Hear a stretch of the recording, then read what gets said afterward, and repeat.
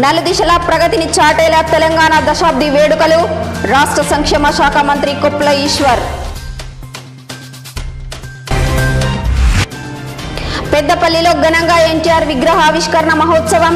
హాజరైన ఎమ్మెల్యే మాజీ ఎమ్మెల్యేలు అభిమానులు.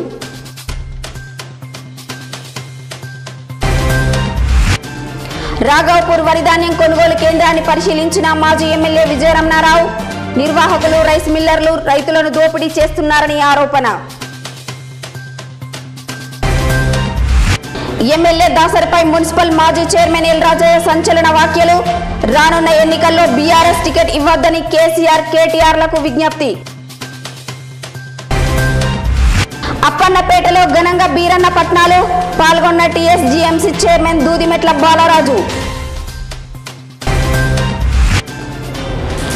ప్రమాదకరంగా command to Subhash Nagar road divider. Central lighting system ఏర్పాటు చేయాలని పట్టణ ప్రజల విజ్ఞప్తి.